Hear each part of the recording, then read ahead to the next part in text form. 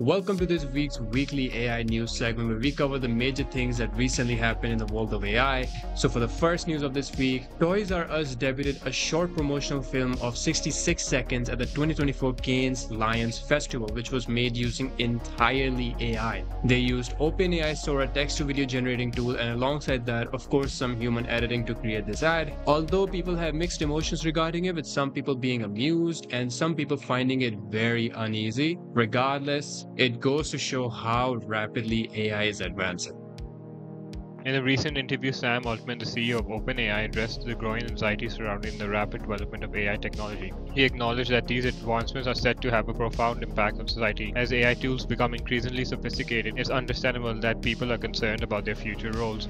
Altman explained that many worry about what will happen if AI can handle complex tasks like discovering all physics or starting and running successful companies. This uncertainty about where humans will fit in among such powerful technologies is a significant and valid concern that society will need to address on the bright side.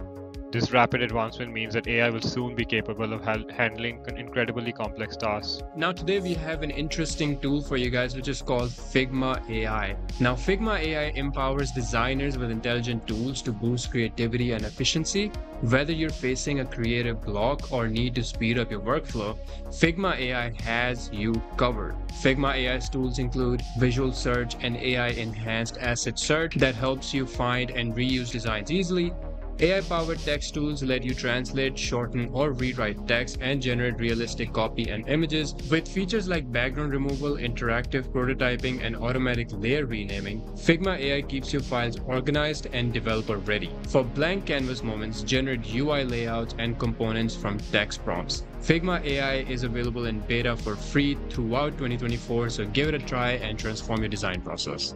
Kai Lee, the chairman and CEO of Sinovation Ventures, has stated that the idea of AI displacing 50% of jobs by 2027 is very accurate. He asserts that with rapid advancements in AI such as OpenAI's ChatGPT, white collar jobs will be impacted much more rapidly than blue collar jobs, which could massively affect certain economies. Lee advises parents to encourage their children to start learning AI tools now so they don't fall behind in the evolving job market. That's why the AI podcast is right for you and your children because we teach you all about the new tools, including tools that you probably never heard of.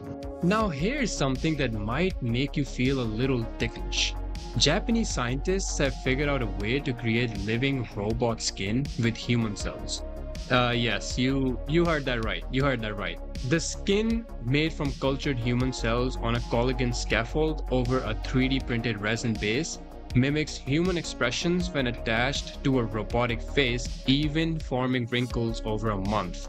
However, despite its realistic look, it lacks sensory functions and blood vessels, limiting its durability. Therefore, researchers plan to improve it by adding neural mechanisms and perfusion channels. Basically, what it means is that they are making robots that replicate humanoid skin.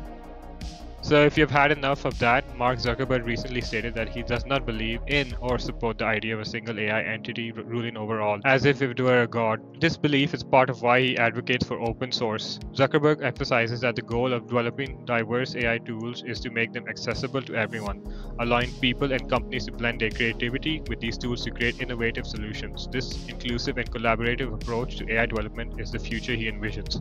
And to be honest, I completely agree with him. I don't know. I find it a pretty big turnoff when people in the um, in the tech industry kind of talk about building this one true AI. It's like it's almost as if they they kind of think they're creating God or something, and it's it's like it's just that's not that's not what we're doing. That's not, I don't think that's how this plays out. And finally, in this week's AI news, Evolutionary Scale has created a new AI model that designs and simulates proteins, enzymes, and other biological matters for scientists. Evolutionary Scale hopes that scientists can use this tool to visualize biological substances and gain deeper insights into life sciences. This includes researching enzymes that can break down plastic, developing new medicines, studying diseases, and more. This technology is expected to advance scientific understanding and potentially lead to innovative solutions across various fields of research. And that wraps up our weekly dive in the AI news where we go over the significant advancements in the world of AI. My name is Moiz. And I'm Hassan. And this is the AI Podcast. If you enjoyed the video, click like, let us know your thoughts down in the comments, and make sure to subscribe for everything AI.